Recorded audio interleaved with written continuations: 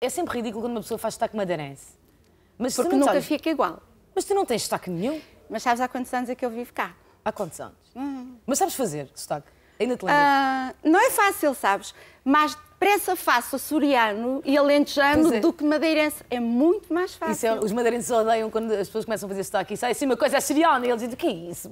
É que já... que é isso? Mas nunca tiveste sotaque, é engraçado. Mas eu vivo cá há 30 anos. 30 anos, é É verdade. muito tempo. É, muito tempo e depois é extraordinário. Precisas Vim um- para cá com dois. É verdade, é sério.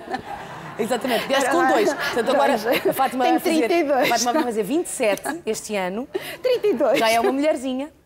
Ó Fátima, mas eh, estamos aqui a brincar com a tua idade, mas tu, tu pa- posso dizer que tu parece que foste congelada no tempo. Porque é uma coisa.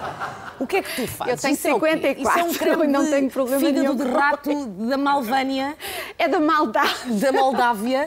Maldade, Isso é um maldade. creme, um creme extraordinário, porque tu de facto tu parece que não mudas, os anos passam, não passam por ti, mulher. Há uma coisa que eu, ao longo destes anos, eh, tenho dito e é verdade pura.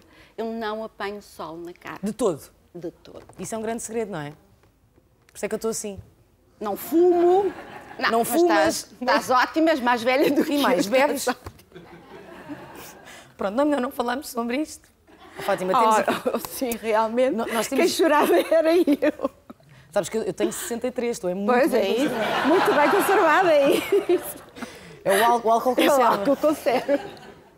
Por Aliás, se acaso o álcool faz aqui... mal à pele. Faz mal à pele o álcool, Faz não é? o álcool, o tabaco, o sol. É terrível, 5 para a meia-noite.